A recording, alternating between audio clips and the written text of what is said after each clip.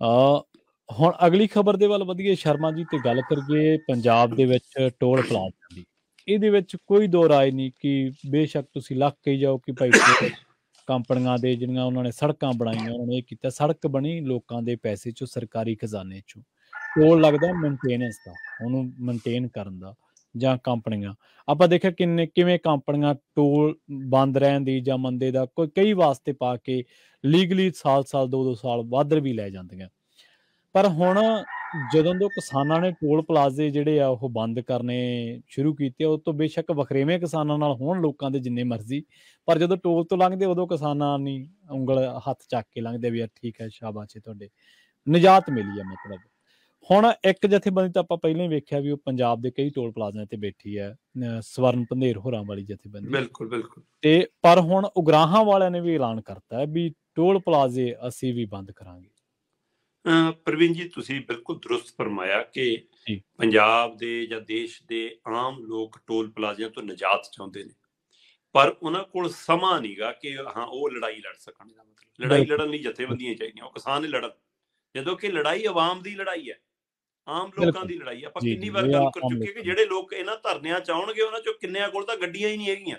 ਜੀ ਜੀ ਜੀ ਕਿੰਨਿਆਂ ਕੋਲ ਤਾਂ ਮਤਲਬ 2 ਵੀਲਰ ਤੱਕ ਵੀ ਨਹੀਂ ਹੈਗਾ ਜਿਨ੍ਹਾਂ ਨੇ ਇਸ ਟੋਲਾਂ ਤੋਂ ਲੰਘਣਾ ਹੋਵੇ। ਸੋ ਇਸ ਲਈ 4 ਵੀਲਰ ਦੂਰ ਦੀ ਗੱਲ ਪਰ ਉਹ ਤਾਂ ਵੀ ਧਰਨਿਆਂ ਤੇ ਬੈਠਦੇ ਨੇ। ਸੋ ਇਹ ਲੜਾਈ ਬਹੁਤ ਵੱਡੀ ਆ। ਪਰ ਦੂਸਰਾ ਜਿਹੜਾ ਤੁਸੀਂ ਹਵਾਲਾ ਦੇ ਰਹੇ ਹੋ ਕਿ ਇਹ ਰਿਪੇਅਰ ਦੇ ਲਈ ਟੋਲ ਲੱਗਦੇ ਨੇ ਸੜਕਾਂ ਦੀ ਸੰਭਾਲ ਲਈ ਲੱਗਦੇ ਨੇ। ਸੋ ਕਈ ਵਾਰ ਇਸ ਹਵਾਲੇ ਨਾਲ ਚਰਚਾ ਹੋਲੀ ਕਿ ਜੀ 30 ਕਿਲੋਮੀਟਰ ਦੇ ਦਾਇਰੇ 'ਚ ਦੂਆ ਟੋਲ ਨਹੀਂ ਲੱਗੂਗਾ ਪਰ ਇੱਥੇ 18 18 20 ਕਿਲੋਮੀਟਰ ਦੇ ਦਾਇਰੇ 'ਚ ਦੋ ਦੋ ਟੋਲ ਲੱਗੇ ਹੋਏ ਨੇ। ਉਹ ਅਜੇ ਤੱਕ ਉਹ ਬੰਦ ਨਹੀਂ ਹੋਏ। ਤੇ ਮਾਨ ਸਾਹਿਬ ਨੇ ਦੋ ਤਿੰਨ ਟੋਲ ਚਕਾ ਕੇ ਬੜਾ ਦਮ ਭਰਿਆ ਕਿ ਲੋ ਜੀ ਜਦੋਂ ਕਿ ਉਹ ਟੋਲਾਂ ਦਾ ਸਮਾਂ ਹੱਦ ਮੁੱਕ ਰਿਹਾ ਸੀ। ਜੇਕਰ ਇਦਾਂ ਹੀ ਸੀ ਤਾਂ ਫਿਰ ਸਾਰੇ ਕਿਉਂ ਨਹੀਂ ਚਕਾਏ? ਸੋ ਸਵਾਲ ਤਾਂ ਇਹ ਹੈ। ਪਰ ਇੱਕ ਪਹਿਲੂ ਜਿਹੜਾ ਆਉਂਦਾ ਕਿ ਇੱਥੇ ਕੰਪਨੀਆਂ ਨਾਲ ਮਿਲੀ ਭੁਗਤ ਅਫਸਰਾਂ ਦੀ ਔਰ ਸਰਕਾਰਾਂ ਦੀ ਹੁੰਦੀ ਹੈ ਉਹਦਾ ਨਤੀਜਾ ਕਿ ਟੋਲਾਂ ਤੇ ਲੁੱਟ ਹੁੰਦੀ ਹੈ। ਪ੍ਰਵੀਨ ਜੀ ਸਿੱਧੀ ਜੀ ਗੱਲ ਹੈ ਕਿ ਤੁਸੀਂ ਅੱਜ ਸੜਕ ਬਣਾਉਣ ਦਾ ਕੰਟਰੈਕਟ ਲੈਣਾ ਤੇ ਉਹ ਸੜਕ ਤੁਸੀਂ 50 ਕਿਲੋਮੀਟਰ ਦੀ ਸੜਕ ਬਣਾਉਣੀ ਹੈ ਤੇ ਉਹਦਾ ਪੈਸਾ ਤੁਸੀਂ ਟੋਲ ਦੇ ਰੂਪ ਚ ਵਸੂਲਣਾ ਤੇ ਜਦੋਂ ਅੱਜ ਦੀ ਤਰੀਕ ਚ ਬਣਾਓਗੇ ਤਾਂ ਤੁਹਾਡਾ ਪ੍ਰੋਜੈਕਟ 2 ਮਹੀਨੇ ਦਾ 3 ਮਹੀਨੇ ਦਾ ਉਹ ਸੜਕ ਦਾ ਹੋਊਗਾ। ਕਿ ਤੁਸੀਂ 2 ਮਹੀਨੇ 3 ਮਹੀਨੇ ਚ ਸੜਕ ਬਣਾ ਦੋਗੇ ਤੇ ਉਹ 2 ਤੇ 3 ਮਹੀਨੇ ਦੇ ਹਿਸਾਬ ਨਾਲ ਤੁਹਾਡਾ ਖਰਚੇ ਦਾ ਅੰਦਾਜ਼ਾ ਲੱਗੂਗਾ ਕਿ ਅੱਜ ਮਾਰਕੀਟ ਰੇਟ ਕੀ ਆ ਭਾਈ? ਲੇਬਰ ਦਾ ਬਜਰੀ ਦਾ ਲੁੱਕ ਦਾ ਰੋਲਰ ਦਾ ਉਹ ਸਾਰਾ ਰੇਟ ਲਾਉਂਗੇ ਰੇਟ ਲਾ ਕੇ ਤੁਸੀਂ ਆਪਣੀ ਵੈਲਿਊ ਕੱਢ ਲਈ ਕਿ ਇੰਨੀ ਵੈਲਿਊ ਦੀ ਸੜਕ ਬਣਨੀ ਹੈ ਜੀ। ਫਿਰ ਤੁਸੀਂ ਪੈਸਾ ਵਸੂਲਣਾ ਜੀ 5 ਸਾਲ ਚ। ਫਿਰ 5 ਸਾਲ ਦੇ ਹਿਸਾਬ ਨਾਲ ਤੁਸੀਂ ਵਿਆਜ ਲਾਓਗੇ ਪ੍ਰਵੀਨ ਜੀ। ਕਿ ਵਿਆਜ ਦੇ ਹਿਸਾਬ ਨਾਲ ਵਸੂਲੀ ਲਈ ਇੰਨਾ ਖਰਚਾ ਬਣਦਾ ਜੀ ਮੇਰਾ। ਤੇ ਟੋਟਲ ਪੈਸਾ ਵਸੂਲਣ ਲਈ ਤੁਸੀਂ ਟੋਟਲ ਰਾਸ਼ੀ ਬਣਾ ਲਈ ਕਿ ਜੀ ਖਰਚਾ ਪਲੱਸ ਵਿਆਜ ਮਿਲਾ ਕੇ ਇੰਨੀ ਰਾਸ਼ੀ 5 ਸਾਲਾਂ 'ਚ ਮੈਂ ਵਸੂਲਣੀ ਆ ਜੀ। ਹੁਣ ਤੁਸੀਂ ਉਹਦੇ ਪਰ ਗੱਡੀ ਦੇ ਹਿਸਾਬ ਨਾਲ ਫਿਰ ਤੈਅ ਕਰਦੇ ਹੋ ਕਿ ਉੱਥੇ 3 ਤੋਂ 5 ਦਿਨ ਉਹਨਾਂ ਦੀਆਂ ਟੀਮਾਂ ਖੜਦੀਆਂ ਨੇ ਕਿ ਆਮ ਦਿਨ 'ਚ ਗੱਡੀ ਕਿੰਨੀ ਲੰਘਦੀ ਹੈ ਛੁੱਟੀ ਵਾਲੇ ਦਿਨ ਕਿੰਨੀ ਲੰਘਦੀ ਹੈ ਟਰੱਕ ਕਿੰਨੇ ਲੰਘਦੇ ਨੇ ਕਾਰਾਂ ਕਿੰਨੀਆਂ ਲੰਘਦੀਆਂ ਨੇ ਐ ਬੱਸਾਂ ਕਿੰਨੀਆਂ ਲੰਘਦੀਆਂ ਜੀ ਔਸਤ ਕੱਢੀ ਜਾਂਦੀ ਹੈ। ਜੀ। ਇਹ ਔਸਤ ਦੇ ਹਿਸਾਬ ਨਾਲ ਰੇਟ ਬਣ ਜਾਂਦਾ ਕਿ ਬਾਈ ਜੀ ਆਹ ਬਣਦਾ। ਤੇ ਉਹ ਤੈਅ ਹੋ ਗਿਆ। ਪਰ ਪ੍ਰਵੀਨ ਜੀ ਤੁਹਾਡੀ ਲਾਗਤ ਤਾਂ ਨਹੀਂ ਵਧ ਰਹੀ ਨਾ? ਲਾਗਤ ਤਾਂ ਇੱਕ ਫਿਕਸ ਸੀ। ਹਾਂਜੀ। ਤੁਹਾਡੀ ਤੁਹਾਡਾ ਵਿਆਜ ਦੀ ਦਰ ਤੁਸੀਂ ਫਿਕਸ ਕਰ ਲਈ। ਤੁਸੀਂ ਗੱਡੀਆਂ ਦੀ ਗਿਣਤੀ ਦੇ ਹਿਸਾਬ ਨਾਲ ਤੁਸੀਂ 5 ਸਾਲ ਦਾ ਰੇਟ ਤੈਅ ਕਰ ਲਿਆ। ਹਾਂਜੀ। ਫਿਰ 5 ਸਾਲਾਂ 'ਚ ਹਰ ਸਾਲ ਰੇਟ ਘਟਣਾ ਚਾਹੀਦਾ ਵਧਣਾ ਨਹੀਂ ਚਾਹੀਦਾ। ਕਿਉਂਕਿ ਹਰ 6 ਮਹੀਨੇ ਬਾਅਦ ਸਮੀਖਿਆ ਹੋਵੇ ਕਿ ਕਿੰਨੀਆਂ ਗੱਡੀਆਂ ਵਧ ਗਈਆਂ। ਹਾਂਜੀ ਬਿਲਕੁਲ। ਉਸ ਟੋਲ ਤੋਂ ਅੱਜ ਦੀ ਤਰੀਕ 'ਚ 1000 ਲੰਘ ਰਹੀ ਆ ਤਾਂ 3 ਮਹੀਨੇ ਬਾਅਦ 1200 1500 ਗੱਡੀ ਲੰਘੂਗੀ ਰੋਜ਼। ਹੂੰ। ਰੋਜ਼ ਗੱਡੀ ਦੀ ਰਜਿਸਟ੍ਰੇਸ਼ਨ, ਉਹ ਨਵੀਆਂ ਗੱਡੀਆਂ ਦੀ ਆਮਦ, ਸੋ ਉਹਦੇ ਹਵਾਲੇ ਨਾਲ ਫਿਰ ਰੇਟ ਦਰ ਵਾਈ ਦਰ, ਸਾਲ ਵਾਈ, ਸਾਲ ਘਟਣਾ ਚਾਹੀਦਾ। ਪਰ ਇੱਥੇ ਪਤਾ ਹੀ ਨਹੀਂ ਲੱਗਦਾ ਕਿ ਵੱਧ ਜਾਂਦਾ। ਤੇ ਜਦ ਤੋਂ ਹੁਣ ਮਤਲਬ ਕਿ ਤੁਹਾਡੀ ਗੱਡੀਆਂ ਦੇ ਉੱਤੇ ਉਹ ਟੈਗ ਲੱਗ ਗਏ, ਤਦ ਤੋਂ ਤੁਹਾਨੂੰ ਅਹਿਸਾਸ ਹੀ ਨਹੀਂ ਹੁੰਦਾ। ਆਪਾਂ ਇੱਕ ਦਿਨ ਗੱਲ ਕੀਤੀ ਸੀ ਕਿ ਹਾਂ, ਤੁਸੀਂ ਪੇਮੈਂਟ ਕਿਵੇਂ ਕਰਦੇ ਹੋ? ਨੋਟ ਦੇਣ ਲੱਗੇ, ਦਰਦ ਹੁੰਦਾ ਹੈ। ਤੇ ਜਦੋਂ ਗੇਟ ਐ ਜੇ ਖੁੱਲਦਾ ਨਾ ਆਪਣੇ ਆਪ ਤਾਂ ਬੰਦੇ ਨੂੰ ਵੀਆਈਪੀ ਬਣੇ ਦੀ ਫੀਲਿੰਗ ਆਉਂਦੀ ਹੈ ਕਿ ਲੈ ਵੀ ਮੇਰੇ ਲਈ ਤਾਂ ਗੇਟ ਖੁੱਲਦੇ ਜਾ ਰਹੇ ਨੇ। ਜੀ ਤੁਹਾਨੂੰ ਪਤਾ ਹੀ ਲੱਗਦਾ ਕਿ ਤੇਰੀ ਜੇਬ ਕੱਟੀ ਜਾ ਰਹੀ ਹੈ ਭਾਈ। ਹੂੰ। ਸੋ ਇਸ ਲਈ ਉੱਥੇ ਰੇਟ ਕਦੋਂ 35 ਤੋਂ 55 ਤੇ 55 ਤੋਂ ਕਦੋਂ 85 ਹੋ ਗਿਆ ਲੋਕਾਂ ਨੂੰ ਪਤਾ ਹੀ ਨਹੀਂ। ਨਹੀਂ ਪਤਾ ਬਿਲਕੁਲ ਸਹੀ ਹੈ। ਖਾਤਿਆਂ ਚੋਂ ਕੱਟੇ ਜਾ ਰਹੇ ਸੋ ਇਸ ਲਈ ਇਸ ਲੁੱਟ ਦੇ ਖਿਲਾਫ ਦੇਸ਼ ਭਰ ਦੇ ਆਮ ਸੰਗਠਨਾਂ ਨੂੰ ਆਉਣਾ ਚਾਹੀਦਾ ਸੀ ਆਮ ਲੋਕਾਂ ਨੂੰ ਆਉਣਾ ਚਾਹੀਦਾ ਸੀ ਪਰ ਇਹ ਲੜਾਈ ਵਿਚਾਰੇ ਕਿਸਾਨ ਲੜਦੇ ਨੇ ਹਰ ਵਾਰ ਕਿਸਾਨ ਜਥੇਬੰਦੀਆਂ ਲੜਦੀਆਂ ਨੇ।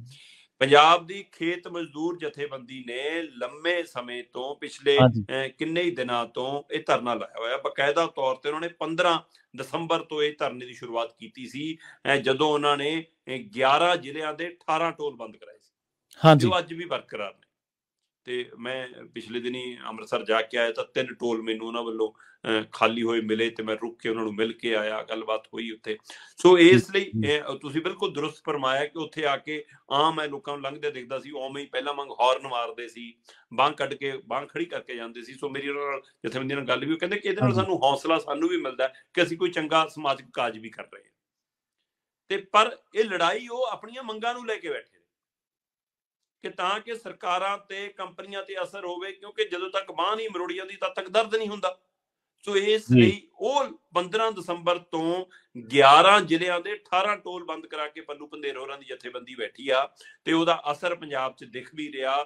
ਪਰ ਹੁਣ ਉਹਦੇ ਨਾਲ ਸਮਰਥਨ 'ਚ ਆ ਗਈ ਆ ਉਹ ਗ੍ਰਾਹਾਂ ਜਥੇਬੰਦੀ। ਤੇ ਗ੍ਰਾਹਾਂ ਜਥੇਬੰਦੀ ਦਾ ਤਾਲਮੇਲ ਦਿੱਲੀ 'ਚ ਵੀ ਠੀਕ ਠਾਕ ਰਿਹਾ ਇਸ ਜਥੇਬੰਦੀ ਨਾਲ।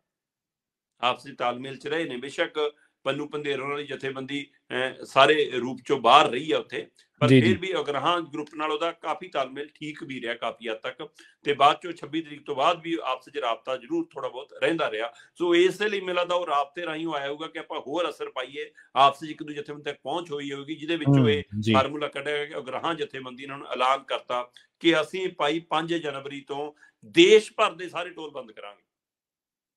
ਬੇਸ਼ੱਕ ਪਹਿਲ ਕਦਮੀ ਉਹ ਪੰਜਾਬ ਤੋਂ ਹੀ ਹੋਣੀ ਆ ਆਪਾਂ ਨੂੰ ਪਤਾ ਕਿ ਉਗਰਾਂ ਜਥੇਬੰਦੀ ਦਾ ਗੜ ਮਾਲਵਾ ਖੇਤਰ ਆ ਤੇ ਉਹ ਤੋਂ ਇਲਾਵਾ ਹੁਣ ਉਹਨਾਂ ਦੇ ਬਾਕੀ ਥਾਵਾਂ ਤੇ ਕੁਝ ਯੂਨਿਟ ਬਣੇ ਨੇ ਇਸ ਲਈ ਉਹਦਾ ਅਸਰ ਪੂਰੇ ਪੰਜਾਬ 'ਚ ਨਜ਼ਰ ਤਾਂ ਆਏਗਾ।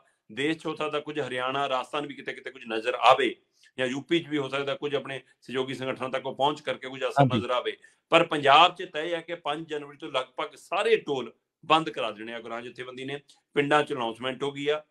ਪਿੰਡਾਂ 'ਚ ਮਨਿਆਦੀ ਹੋ ਗਈ ਆ ਤੇ ਬਕਾਇਦਾ ਤੌਰ ਤੇ ਵਰਕਰਾਂ ਨੂੰ, ਆਪਣੇ ਮੈਂਬਰਾਂ ਨੂੰ ਹਦਾਇਤ ਕਰਤੀ ਆ ਕਿ ਭਾਈ ਆਪਣੇ ਟਰੈਕਟਰ, ਟਰਾਲੀ, ਗੱਡੀ, ਮੋਟਰਸਾਈਕਲ ਜੋ ਵੀ ਲੈ ਕੇ ਆਉਣਾ, ਲੈ ਕੇ ਆਪਣੇ ਇਸ ਸੰਬੰਧਤ ਯੂਨਿਟ 'ਚ ਥੋੜੀ ਡਿਊਟੀ ਲੱਗੀ ਆ, ਇੱਥੇ ਤੁਸੀਂ ਪਹੁੰਚਣਾ। ਸੋ ਇਹ ਬੜੀ ਕਮਿਟਡ ਫੌਜ ਆ ਗ੍ਰਾਹਾਂ ਜਥੇਬੰਦੀ ਦੀ।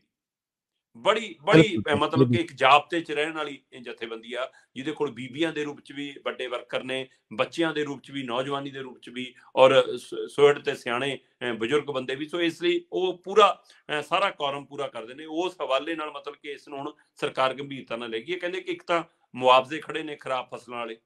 ਦੂਜਾ ਐਮਐਸਪੀ ਵਾਲਾ ਮਸਲਾ ਖੜਾ ਹੈ ਤੀਜਾ ਖੁਦਕੁਸ਼ੀਆਂ ਵਾਲੇ ਮਸਲੇ ਖੜੇ ਨੇ ਚੌਥੇ ਜਿਹੜੇ ਸ਼ਹੀਦ ਹੋਏ ਅੰਦੋਲਨ ਦੌਰਾਨ ਉਹਨਾਂ ਦੇ ਪਰਿਵਾਰਾਂ ਨੂੰ ਮੁਆਵਜ਼ੇ ਨੌਕਰੀਆਂ ਦੇ ਮਸਲੇ ਖੜੇ ਨੇ। ਸੋ ਅਜਿਹੀਆਂ ਮੰਗਾਂ ਨੂੰ ਲੈ ਕੇ ਕਹਿੰਦੇ ਅਸੀਂ ਕੇਂਦਰ ਦੇ ਖਿਲਾਫ ਵੀ ਔਰ ਸੂਬਾ ਸਰਕਾਰ ਦੇ ਖਿਲਾਫ ਵੀ। ਇਹ ਸਾਂਝਾ ਸਾਡਾ ਇੱਕ ਰੋਸ਼ ਮੁਜ਼ਾਹਰਾ ਹੈ ਰੋਸ਼ ਧਰਨਾ ਕਿ 5 ਜਨਵਰੀ ਤੋਂ ਅਸੀਂ ਹੁਣ ਪੰਜਾਬ ਦੇ ਸਾਰੇ ਜਾਂ ਦੇਸ਼ ਦੇ ਸਾਰੇ ਜ਼ਿਲ੍ਹਿਆਂ 'ਚ ਟੋਲ ਮੁਕਤ ਕਰਾਂਗੇ ਜੀ। ਆ